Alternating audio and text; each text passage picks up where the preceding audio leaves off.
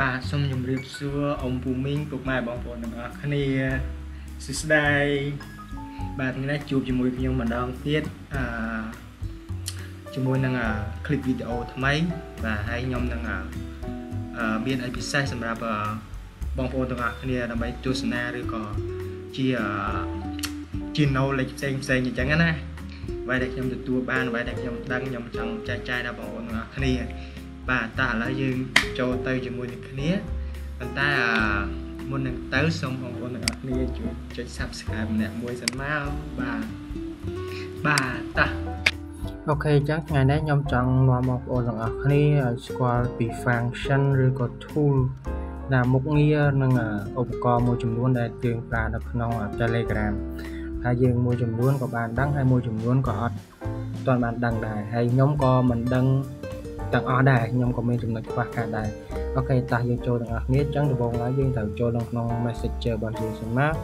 okay នៅក្នុង Messenger របស់យើងនេះជា function និង tool ដែលខ្ញុំត្រូវប្រាប់បងប្អូនអ្នករាល់គ្នានៅក្នុងនេះ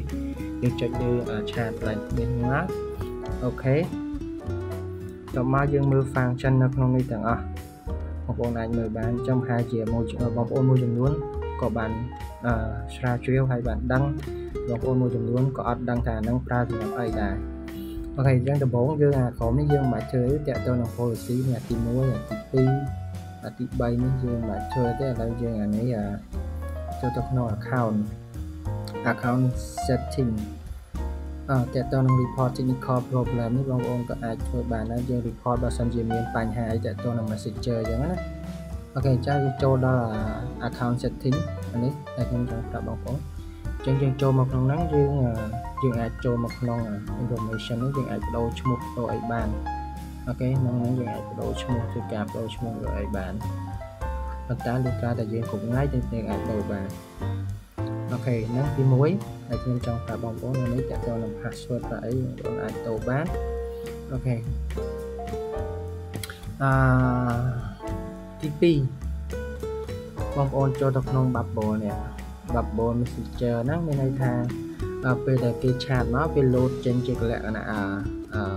ឆាតលោតឡើងមក cloud ចឹងនៅលើនៅលើ screen យើងចឹងណាវាអត់ចេញមកលើ tool បានទេវាចេញមកលើ screen របស់យើងមកចឹងយើងអាច reply ទៅភ្លាមភ្លាមអញ្ចឹងយើងដាក់ not ណា nothing can bubble ហ្នឹងវាយើងខ្ញុំអត់ដាក់ឲ្យវា load មកទេខ្ញុំឲ្យវាចេញមកលើ bar លើនេះដោយបើយើងដាក់ on នេះវានឹង load ចេញមកដល់គេឆាតមកវា load ចេញមកលើ screen របស់យើងអូខេតែខ្ញុំបិទហេបន្ទាប់មកយើងចូលដល់ photo ហើយនិង media photo media នេះ photo media ហ្នឹងខុសគ្នាត្រង់ថាបើសិនជាយើងបិទទៅយើងធ្វើការថតប៉ុន្តែទាក់ទីហោថាចង់ ចង់ថតរូបផ្ញើឲ្យនរណាម្នាក់ខ្ញុំចុចលើកាមេរ៉ានេះវាចង់ថតរូបអីផ្ញើឲ្យអ្នកខាងអ្នកណាម្នាក់អញ្ចឹងថតផ្លឹបហើយយើងចុច send អញ្ចឹងវា send ទៅវាអត់វាវាអត់មានថាមានន័យថាវាអត់នេះវាអត់មានសេវចូលក្នុងរបស់យើងទេអត់សេវចូលក្នុងរបស់យើងទេប៉ុន្តែនៅពេលដែលយើងធ្វើការបើកអាហ្នឹងវិញទីហោថាយើងចូលហ្នឹងដែរយើងចុចចូលមកហ្នឹងមក photo and media នេះ យើងធ្វើការបើកអាហ្នឹងវិញនៅពេលដែលយើងថតហើយទីយើងបើកហើយនៅពេលដែលយើងថតយើងថតមួយទៀតពេលយើងថតហើយយើងផ្ញើវានឹង save យើង save image ចឹង image យើងវានឹងចូលមកនៅទីនេះឃើញអត់នៅខុសគ្នាត្រង់ហ្នឹងវាចោលឲ្យរំខានអូខេតោះយើងតទៀតអឺចូលមកនឹងដែរ ខេមិញ social media photo and image ចឹងមួយទៀតតតទៀត phone contact phone contact នេះយើងមាន2យើងអាច upload contact របស់យើងចូលបានចឹងខ្ញុំអឺ turn on វាដើម្បីឲ្យ contact ដែលខ្ញុំ save វាលេខទូរស័ព្ទដែលយើងបានរក្សាទុកបាន save ហ្នឹងវានឹងចូលមកហ្នឹងអូខេអញ្ចឹងនៅក្នុង manage contact នេះបងប្អូនចុចលើហ្នឹងមកវានឹងប្រាប់លេខទូរស័ព្ទទាំងអស់ដែលបងប្អូនបាន save នៅក្នុង កាតរបស់យើងនៅក្នុង SIM របស់យើងចឹងបងប្អូនមកបាត់ SIM បាត់អីបងប្អូនអាចឆែកមើលក្នុងនេះបានឧទាហរណ៍ថាលេខនេះបងប្អូនចុចមើលទៅវានឹងប្រាប់ថាលេខហ្នឹងលេខមានលេខប៉ុន្មានខ្លះចឹងទៅអូខេបងប្អូនតោះគេតន់យើងទៅមុខទៀតតន់ទៅនឹង SMS SMS នេះបើវាខុសត្រង់ថាបើសិនជាយើងបើកអាហ្នឹងទៅមានថាអា message នេះអា message ណា អា message អា message នេះ message ដែល common ផ្ញើឲ្យមកនេះហ្នឹងវានឹងចូលមកលោតចូលទៅក្នុង Messenger យើងដែរអញ្ចឹងបងប្អូនយល់អរកុំឲ្យវារំខានបងប្អូនធ្វើការបិទវាទៅកុំបើកអូខេប៉ុណ្ណឹងតកតនឹង story អូខេអញ្ចឹង story នេះខ្ញុំចង់ប្រាប់បងប្អូនបើសិនជាយើងចង់ post story យើងបងប្អូនចេះ post story ហី បើសិនយើងចង់ឲ្យវា public យើងដាក់ public មកបើយើងចង់ដាក់ឲ្យមានថា public អឺមិនមែន friend យើងក៏ដោយ friend យើងក៏ដោយគាត់ឃើញទាំងអស់បើយើងដាក់ only friend នេះមានន័យថាមានតែ friend របស់យើងទេដែលយើងស្គាល់ទេទើបគាត់អាចមើលឃើញប៉ុន្តែបើយើងដាក់ custom នេះយើងចង់ផុសទៅយើងចង់ឲ្យអាណាម្នាក់ឃើញយើង select លើម្នាក់ហ្នឹងទៅយកថាខ្ញុំចង់ឲ្យម្នាក់នេះឃើញអញ្ចឹងខ្ញុំ apply ទៅអញ្ចឹងវាមានថាអឺអូខេមក ចុចអូខេខ្ញុំមានន័យថាខ្ញុំ post story ម្នាក់ហ្នឹងឯងមានម្នាក់ហ្នឹងឃើញអញ្ចឹងអ្នកផ្សេងអត់ឃើញទេប៉ុន្តែខ្ញុំអត់ចង់ដាក់អញ្ចឹងខ្ញុំចង់ដាក់ public អូខេវាអត់មានអីជាអាចកំបាំងផងអូខេហើយនៅក្នុងអឺក្រោមនេះទៀតអឺ view story achieve នេះ view story achieve នេះយើងចុចលើហ្នឹងមកមានន័យថាយើងឃើញ story ទាំងអស់ដែលយើងបានផុសហើយយើងបានផុស story តាំងពីណាពីណាវាបង្ហាញនៅក្នុងហ្នឹងអស់អញ្ចឹងនៅក្នុងហ្នឹងបងប្អូនអាចចូលមក save បងប្អូនមើលយើងអាចមើលយើងអាចខ្ញុំមិនខ្លាចនឹងកាន់ដៃនៅក្នុងកាត់ឧបសគ្គទេហ្នឹងចេញបានយើងអាចធ្វើការ save ចេញបានដើម្បីផុសឲ្យក្រោយទៀតអូខេបងប្អូនស្នន់តន់យើងតទៅមួយទៀតអូខេតកតងនឹង data server នេះ data server នេះខ្ញុំអត់ដឹងអត់ច្បាស់ដែរពីប្រាប់ថាវាពេលដែលយើងបើកទៅយើង enable enable click to download for image and video when using data អញ្ចឹងពេលដែលយើងបើកអាហ្នឹងទៅវាអាច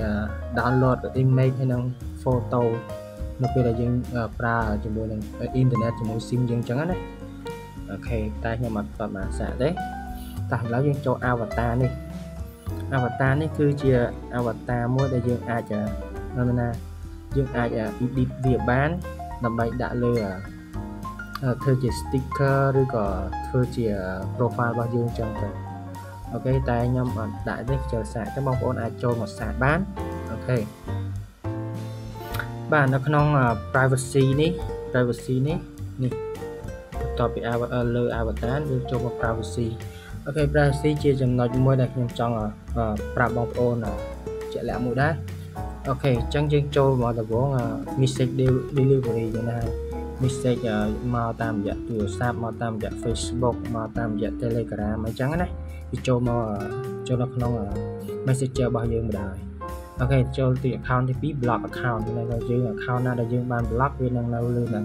ចា account នេះងាយញ៉ៃខ្ញុំពេកខ្ញុំ block ចោលដោយគ្មានការសោកស្ដាយសំណោះអីឡើយ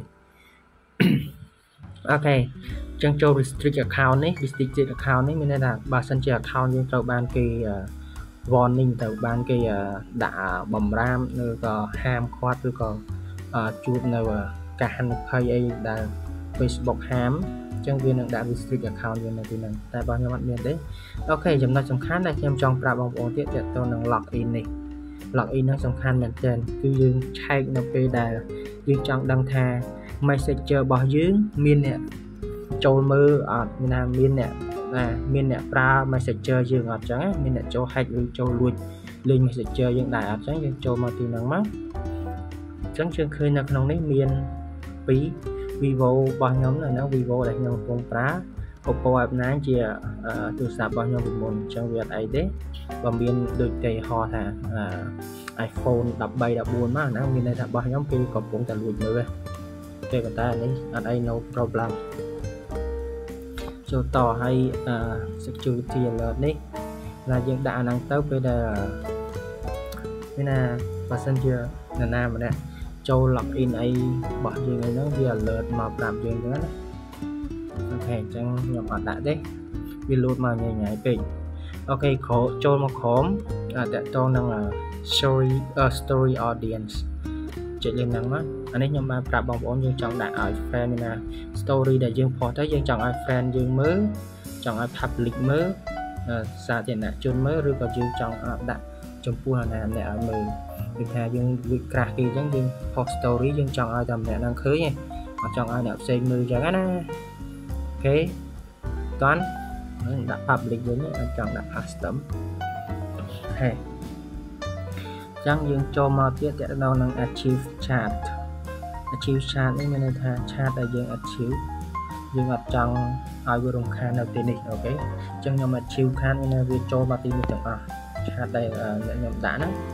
អញ្ចឹងយើងដាក់ achieve ខានហ្នឹងមានន័យថាយើងអត់ចង់ឲ្យវានៅលើនេះច្រើនទីហោថាខ្ញុំដាក់អឺគាត់នេះ achieve អញ្ចឹងយើង click លើនឹងជាប់ហើយចុចពាក្យថា achieve ហ្នឹងវានឹងចូលទៅកន្លែង achieve chart ហ្នឹងខ្ញុំដាក់នេះទៀត achieve achieve អូខេអញ្ចឹងវានឹងចូលវាមានតិចយើងអត់ហត់នឹង scroll មើលអញ្ចឹងណាតោះនេះ okay អញ្ចឹងយើងចូលទៅមើលតវិញអូខេចូល achieve chat ហើយបើបើសិនជាយើងចង់ chat ទៅម្នាក់ហ្នឹងវិញយើងចុចលើហ្នឹងមកហើយយើងចុចនេះដែរទៅវានឹង load មកមកនេះវិញអូខេនេះនឹង load មកនេះលើលើ chat ធម្មតាវិញ achieve chat យើងគ្រាន់តែចង់លាក់កុំឲ្យវាច្រើនយើងបាក់ scroll មើលទេ okayចំណុចបន្ទាប់ទៀតចូលទៅក្នុងអឺ notification sound notification sound ហ្នឹងមកយើងបិទទៅវាថា message ដែលគេផ្ញើមកវាស្ងាត់ហ្មងណាវាអត់អត់ vibrate អត់អត់រញ័រអត់អីចឹងណាគឺអត់ឮសំឡេងទិញតុងទិញតុងអីចឹងណាចឹងខ្ញុំអត់បាត់ទេអញ្ចឹងបើសិនជាយើងចង់ដាក់ sound នៅក្នុង Messenger ពេលដែលគេផ្ញើមកយើងចង់ដាក់ សំឡេងនេះអត់លឺស្ងាត់អស់យកតែយើងចង់ដាក់សំឡេងនឹង sound and apparent ដោយសារខ្ញុំដាក់ silent អញ្ចឹងมันវាអត់លឺនេះដោយសារខ